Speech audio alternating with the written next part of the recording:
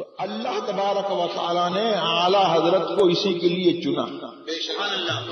इस जमाने में आला हज़रत को इसी के लिए पैदा ही किया गया कि खुद भी मसल के अहले सुन्नत पर कायम रहें और दूसरों को भी मसल के अहले सुन्नत पर कायम रखें।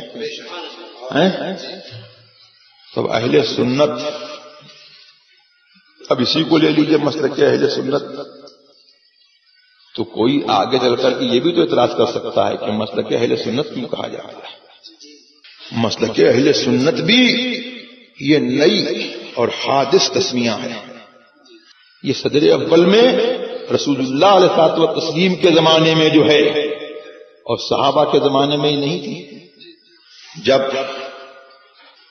ताबीन का जमाना आया और गुमराहियाँ जो है फैलने लगी और नए नए अफकार पैदा होने लगे।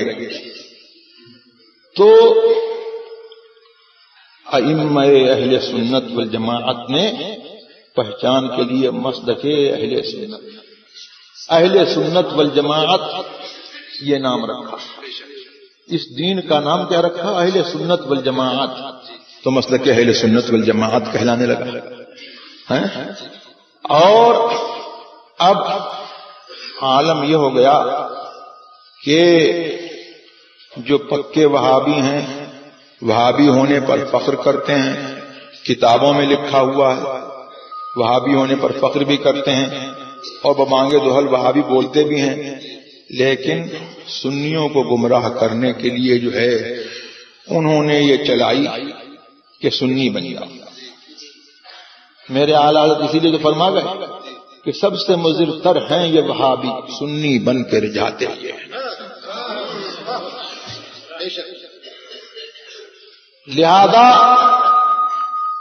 जिस तरीके से जमाने कदीम में ये दस्तूर था कि अहले सुन्नत वल जमात की दो अजीम शख्सियतों से जो है पहचान होती रही। हज़रत अबू मंसूर मातरीदी रज़ी अल्लाह तबारक और हज़रत अबुल हसन अशरी रज़ी अल्लाह तबारक के लिए जो है मसल के आला हज़रत कहा जाने लगा और कहा जा रहा बहरहाल, ये आला हज़रत अजीम बरकत फाजिल बरेलवी रज़ी अल्लाह तबारक हो को रब करीम की बारगाह से जो है अजीम इनाम मिला है कि उनके दीन का तारुफ उनकी जात उनके शहर शहर और सही, सच्चे, पक्के मुसलमान होने की निशानी यही है? कि जो मसल के आला हज़रत का हामिल है, उसके ईमान में जर्रा बराबर कोई सुधार नहीं होगा है?